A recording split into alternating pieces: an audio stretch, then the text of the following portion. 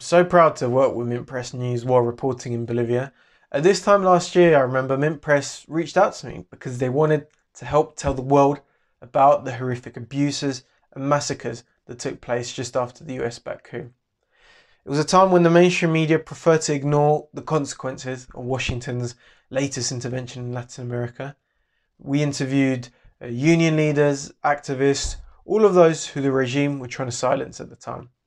So MintPress shines a light where there'd otherwise be darkness. And that's why it's so important to support them. MintPress was there in the most difficult moments of the coup and the most joyous. We showed the world the outpouring of joy that there was whenever Morales returned to Bolivia to give direction to the country and revolution that he built. On the other hand, corporate media has multi million dollar budgets with which to push their agendas. If we want to show the truth, and I believe it is important to do so, then it requires resources. Jeff Bezos or the other oligarchs in the US aren't going to bankroll MintPress. It needs to come from those who believe in alternative media, from those who know they're being lied to by the powerful.